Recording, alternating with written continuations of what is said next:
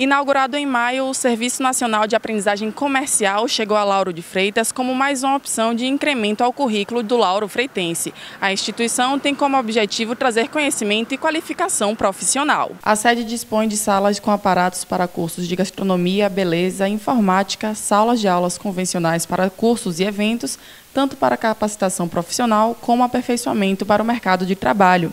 Após um estudo, Laura de Freitas foi escolhida por ter um bom público. Uma instituição iniciativa privada, uma empresa de iniciativa privada, sem fins lucrativos, né, mantida pelo setor do comércio e com a responsabilidade de retornar esse setor através da formação profissional de mão de obra qualificada para inserção no mercado de trabalho. Para maiores informações sobre os cursos, o número do SENAC é o 71 3283 3062 ou acesse o nosso site e confira a grade de aulas. De Freitas é um município que tem crescido muito.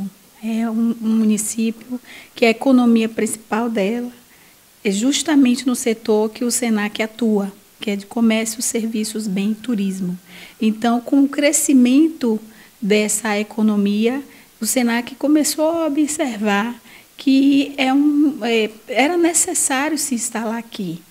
É, tem uma proximidade com a capital, né, com Salvador, onde nós temos várias outras unidades de ensino.